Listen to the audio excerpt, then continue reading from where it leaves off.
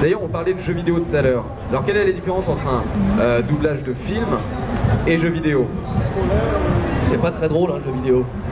Un jeu vidéo, il y a deux écrans. Un écran, c'est un fichier Excel, et un autre écran, c'est un, logiciel euh, qui, euh, qui nous enregistre. Et il y a la forme d'onde du petit fichier qui est là, et il faut se conformer à, ça. On n'a pas d'image, pas de vidéo, on n'a rien. On ne sait pas dans quel ordre c'est, on ne sait pas ce qui parle avant, ce qui parle après, c'est hyper compliqué et c'est pour ça qu'il y a des résultats plus ou moins euh, bien dans le, milieu du jeu vidéo. C'est de plus en plus difficile d'avoir euh, les cinématiques.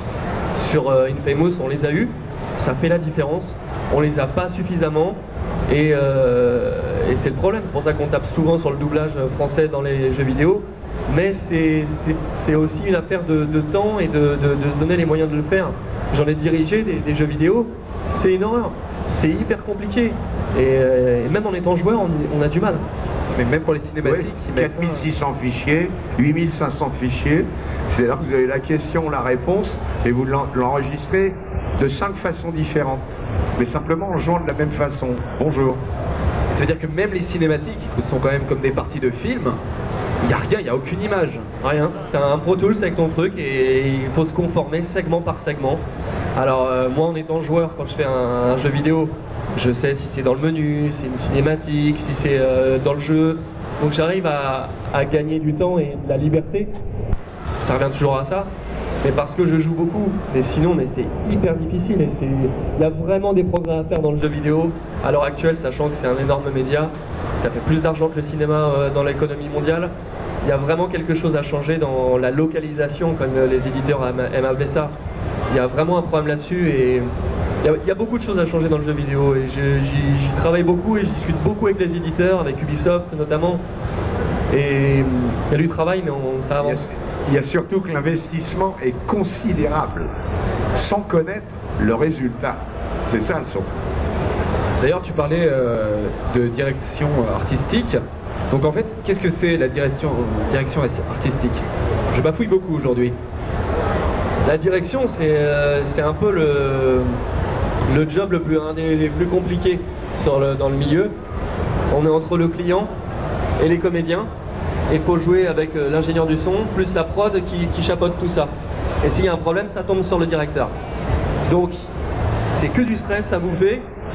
Parce qu'il faut respecter les horaires, il faut aider les comédiens quand ils galèrent, il faut euh, avoir le rôle ingrat de leur dire c'est pas bien ou c'est bien, mais c'est- difficile de, c'est vraiment un, métier compliqué et je, ouais, moi j'en fais, mais je me porte. Vous avez tous les deux déjà dirigé sur euh, différents, différents films ou euh, jeux vidéo Ah bah moi oui, j'ai fait de la direction artistique, euh, Twin Peaks entre autres. Et euh, bah, c'est l'enfer. Alors donc j'ai fait Twin Peaks, puis après j'ai arrêté. Voilà.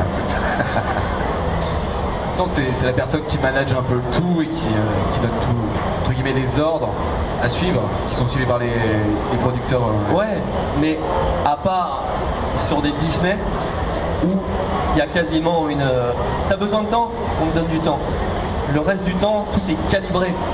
Un deux jours, c'est un deux jours. Allez, trois heures de dépassement, et quand tu te foires, ils te font bien remarquer, mais c'est trop. faut rentrer dans les cases. Et si je fais ce métier, c'est justement pas pour avoir à rendre des comptes euh, tous les soirs. Alors il y en a qui trouvent, qui prennent leur pied à, diriger, à aider les comédiens, mais, euh, mais moi prends pas forcément de plaisir. euh, voilà, donc c'est un métier difficile, je respecte beaucoup ceux qui le font, et ils nous aident beaucoup, mais c'est vrai que moi je, je, c'est- pas mon, ma cam. C'est un métier extrêmement difficile pour la simple et bonne raison, c'est que c'est un métier à divorce. C'est-à-dire qu'une fois que vous avez fini d'enregistrer vers 21h, 22h, vous rentrez chez vous et à ce moment-là, vous avez à peu près pour deux heures et demie euh, de SMS, de messages pour savoir si t'es libre, t'es pas libre, bim bam boum, bim bam boum. Puis vous faites des plans de travail, puis vous voyez jamais votre famille, et puis d'un seul coup, bah, vous vous retrouvez chez vous tout seul, et puis votre femme, elle est partie éventuellement avec les valises et les enfants. Voilà. En gros, messieurs, si vous voulez divorcer mais que vous savez pas comment l'annoncer, vous faites de la direction artistique, hein, ça va aller plus vite. Et D'ailleurs, quels sont les délais en général pour un film? Les délais euh, pour faire le doublage? Il n'y a pas trop de normes, hein, c'est, euh, peux- on peut faire un film, euh, le délai pour, euh, pour un 35, c'est, c'est- c'est- ça dépend, il y a tout. mais Ça va être deux jours à deux mois et demi. Alors deux jours, ça dépend du budget, parce qu'il y a un clic-clac. Et deux mois et demi, c'est une très grosse prod, et là, c'est... Voilà. Donc là, il n'y a même pas, on ne peut pas parler de, de masse, d'argent. Euh, c'est proportionnel au degré de diffusion. Alors si vous faites un film pour un DVD un peu serré, on, va le faire, on peut le faire en trois jours. c'est ça, ouais. Et puis si jamais c'est euh, un blockbuster de chez Disney, on peut le faire en deux mois et demi. C'est énorme, hein. la différence c'est colossal. hein. Mais la, la- la- chaque personne a un laps de temps bien déterminé. Mais c'est vrai que nous, en comédiens, euh, c'est rare que ça dépasse 3-4 jours pour un rôle principal. Il faut que. Voilà, eux ont beaucoup de temps, c'est étalé, mais, euh, mais c'est vrai que nous, faut, faut speeder quoi. C'est aussi, euh, aussi une raison pour laquelle on entend souvent que c'est toujours les mêmes. Et parce que comme il y a de moins en moins d'argent, comme le dire Patrick, il faut que ça rentre dans les cases. Et du coup, bah, ils rappellent souvent les mêmes parce qu'ils savent que bon, bah, le, plan va tenir, le plan de travail va tenir en, en prenant un tel, alors qu'en se disant ah un tel je le connais pas trop, est-ce que j'y vais? Ah non, je suis pas sûr. Et du coup, voilà, c'est une des raisons aussi pour lesquelles on entend souvent les mêmes. J'ai bien dit une des raisons. Et d'ailleurs, dans tous les doublages que vous avez fait, est-ce qu'il y en a un qui vous a vraiment marqué? Ah, celui-là, je m'en souviendrai toute ma vie. Soit par la difficulté, soit parce qu'il vous a vraiment beaucoup amusé, Je vais y hein. Euh, pour la difficulté, moi je dirais que c'était The Social Network de Fincher, euh, qui était vraiment euh, mon plus gros morceau de, de- de technicité en doublage. C'est vraiment, euh, c'était monstrueux. Après, évidemment, euh, dans les dessins animés, Titeuf, euh, Dragon, parce que voilà, c'est du fun. Et puis euh, pour le rôle mythique, euh, Spider-Man. Vous savez, il a aussi joué Andy dans Toy Story. Je sais pas si vous vous souvenez du petit garçon. Ah, c'était lui. C'était Andy Et il a beaucoup grandi. Ce qui est drôle, c'est que souvent on me dit Vas-y, fais-moi la voix d'Andy. Je dis Mais j'avais 14 ans. Mais vas-y, fais-la quand même. Je dis Mais j'avais 14 ans. Mais Bon, d'accord. Tu apprécies beaucoup de. C'est tout ça pour vous dire qu'il a mué quand même. Ouais, ouais. C'est ça. Quoi que Titeuf qui arrive encore bien. Hein. Ouais, mais la voix évolue. Si on écoute les, épisodes de 2001, j'avais 19 ans. Et après, y en a refait en 2006, c'est déjà plus la même voix. Et 2009, là, on commence à avoir la voix définitive et sur le film, c'est la même. Mais sur les Simpsons, j'ai entendu des épisodes de la saison 1, j'avais l'impression qu'ils avaient été remplacés. Et après, j'ai regardé, ah non, c'est la saison 1. Sur les séries qui durent des années et des années et des années, la voix évolue parce qu'on trouve, on fait corps avec le personnage. Et sur les séries à rallonge comme ça, bon bah voilà, il y a un moment on le tient. À Titeuf, je le tiens, ça bougera plus. Mais euh, les Simpsons, ça bougera plus. Et ça m'est arrivé sur, euh, sur Énergie, ils avaient fait, euh, à l'époque, dans le morning, ils avaient fait euh, le, Télévengeur. Et ils avaient pris des morceaux de Titeuf, mais de toutes les saisons. Moi, quand je l'écoutais, je me mais on a l'impression que c'est un comédien différent à chaque phrase. Non, non, c'est pas ça. Il s'est coincé une couille pour le faire. Il a fait. C'est ça D'ailleurs, tu fais un autre personnage dans Titeuf. Ouais, Hugo, ouais, avec son col roulé rouge. Là, tu te, tu forces un peu plus au niveau de la voix. Et bizarrement, c'est là-dessus que je me fatigue le plus la voix. En fin de journée, j'étais atomisé quand je faisais du Hugo et Titeuf, ça passait tout seul. En Hugo, c'est. euh, Ouais, parle comme ça Ouais, Titeuf Est-ce que t'as serré Nadia, Titeuf? Oh non, c'est pas possible, euh, elle voulait pas aujourd'hui. Et toi, Patrick, il y a un rôle qui t'a particulièrement marqué euh, dans ta carrière. Ah, c'est terrible. Bah, c'est normal, c'est le jour où j'ai fait le premier Die Hard. euh, ça m'a fait rigoler. Euh, Bruce Willis m'a fait marrer. et- C'est-à-dire qu'on l'a fait, je crois qu'on l'a fait en 10 jours. Et euh, bah, je me suis marré pendant 10 jours. Voilà. Youpi pauvre con. Ben voilà, youpi pauvre con. Mais c'est surtout que dans l'œil de Bruce Willis, il y a le sourire au spectateur qui dit Oh, hey, doucement, c'est du cinéma quand même. hein, voilà. C'est vrai.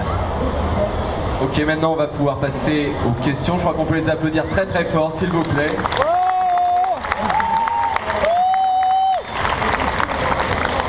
Alors, est-ce qu'il y en a dans la salle? D'ailleurs, je, je te dis depuis tout à l'heure, t'as une fan. hein. Elle arrête pas de dire Donald, mais je pense qu'elle pense au canard. Mais euh, Ah merde, Ah, on pas dans la merde. Comment Ouais. Ah, là, tu es sur mute, je ne t'entends pas. tu vas nous chanter la Reine des Neiges. Allez.